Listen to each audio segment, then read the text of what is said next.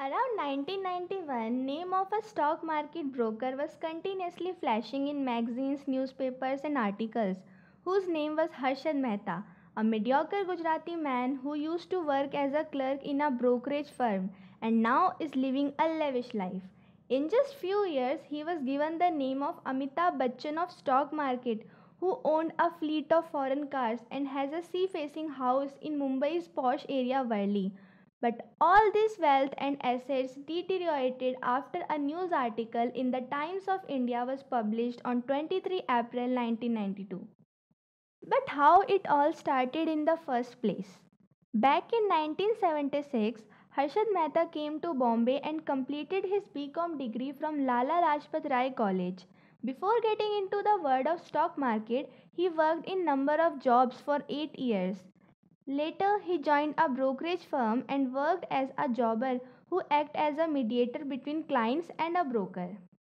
In 1984, Mehta became member of Bombay Stock Exchange as a broker and established his own firm called Grow More Research and Asset Management. At that time, stock exchange was not online, so whenever a bank wanted to sell its securities to other bank, it needed a broker to do so. Basically, securities are the bonds issued by the government to raise funds. These securities are bought by banks and if these banks require more funds, they sell this security to some other bank for which they require a broker.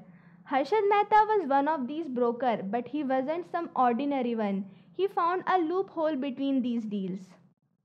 Let's know more about this loophole.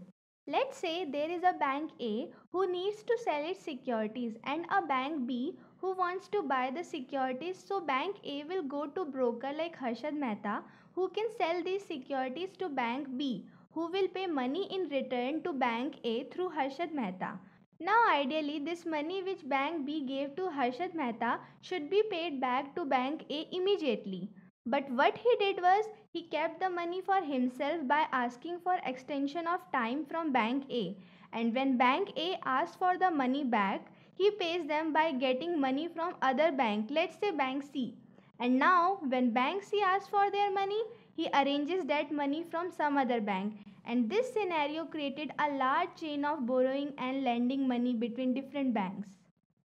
This was just a single chain example of a deal between bank A and bank B and just like that he was running other chains in parallel.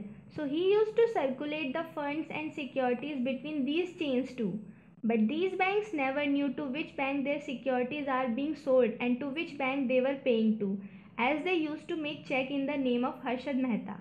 He has got all the trust of these banks due to which he didn't had much problem in controlling this web of different chain of government securities.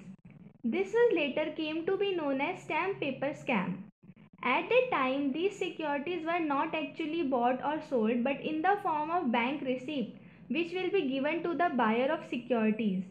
Harshad Mehta partnered with some corrupt bank officials who issued him with fake bank receipt. The bank who were indulged with him were Bank of Karad and Metropolitan Cooperative Bank and this later came to be known as bank receipt scam. Because of all these malpractices, he always had a large sum of money which he used to invest in stock market. Because of this huge sum of money, the stock of a particular company would drastically goes up.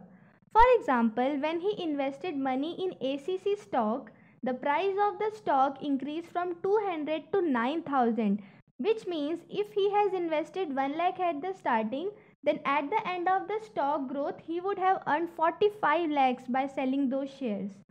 He used these tactics in companies such as Hero Honda, Reliance, ACC, Videocon etc.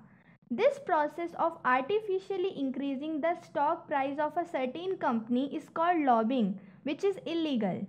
Because of this, Harshad Mehta had tremendous power in stock market and whichever company he chooses to lobby, that company's share would go up. Because of this, he earned himself names such as the Big Bull, the Raging Bull and Amitabh Bachchan of stock market.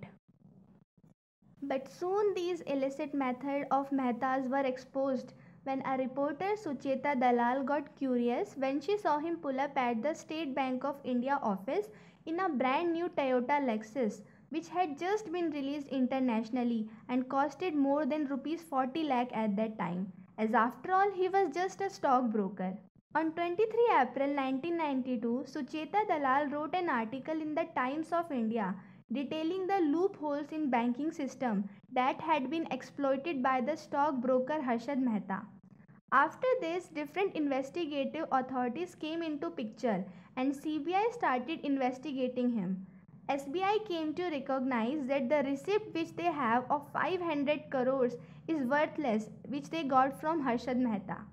Stock market crashed which was once on peak because of Harshad Mehta and due to finance reason Vijay banks had also committed suicide and many employees in different banks lost their jobs. Later he was completely exposed. He was charged with 72 criminal offences and more than 600 civil lawsuits were filed against him. Harshad Mehta was arrested by CBI on 9 November 1992 for misappropriating more than 2.8 million share of about 90 companies. The authorities quantified the scam amount to be 4300 crores. Adjusted for inflation, this amount stands at over 24,000 crores today. And finally, in September 1999, Bombay High Court convicted and sentenced him to 5 years rigorous imprisonment.